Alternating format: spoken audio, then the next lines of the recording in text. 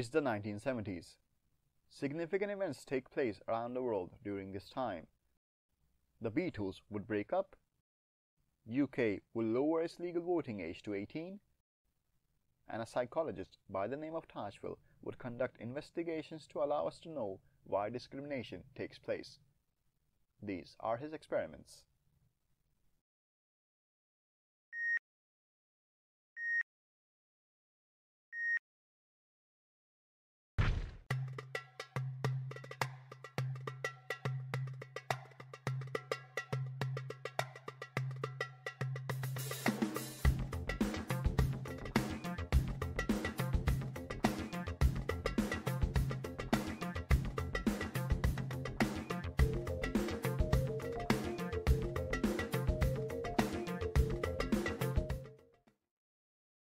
Does categorization of people in different groups cause them to discriminate against one another?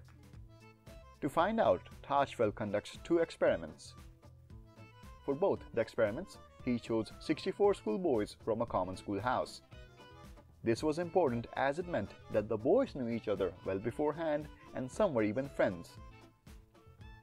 In the first experiment, Tajfel told the boys they now had to estimate the number of dots flashed onto the screen after the boys had estimated the number of dots, they were divided into two separate groups.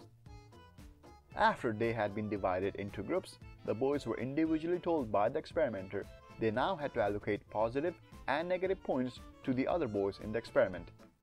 The boys were also told that they would get real life money based on how much points their team had at the end of the experiment. The boys were given three options on which how they would allocate points they could choose to allocate both positive and negative points to their own group member. And because both positive and negative points are allocated to their own group members, this is known as the in-group choice. Or they could choose the second option in which they could allocate both positive and negative points to the members of the other group. And because both positive and negative points would be allocated to the members of the other group, this is known as the out-group choice. Or they could go with the third option in which they could choose one random person from their own group and another random person from the other group and assign one of them positive points and assign one of them the negative points. To whom they assign the positive points and negative points would be totally up to them. If the boys choose to allocate positive points to their own group member and negative points to the other group member, it would be clear that discrimination has taken place. In the second experiment, the boys were shown two paintings. They were asked to pick which painting they liked the most. Based on their preference, they were divided into two groups. Now, like in the first experiment, the boys were instructed to allocate points. But unlike in the first experiment, the choices were a bit different. Instead of positive and negative numbers, this time the choices would consist of maximum and minimum points. The boys could go with option number 1, in which they would allocate the maximum number of points to their own as well as the other group. This would mean both groups would have the maximum number of points. And because both groups have maximum number of points, both groups could go home with the maximum reward. This would be known as the win-win situation.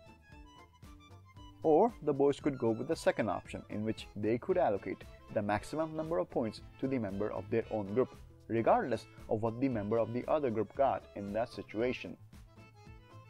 Or the boys could choose to go with the third option, in which they could choose to allocate the largest number of points to the member of their own group and the smallest number of points to the member of the other group. This option would actually allow the boys to maximize the difference in points and hence maximize the difference in rewards given to them at the end of the experiment. This would lead one group to win and the other group to lose, thus causing a win-lose situation. So did the boys discriminate against one another? Well, in the first experiment, the boys actually chose to go with option number 3 and allocated positive points to the member of their own group and negative points to the member of the other group, meaning that discrimination was evident in the first experiment.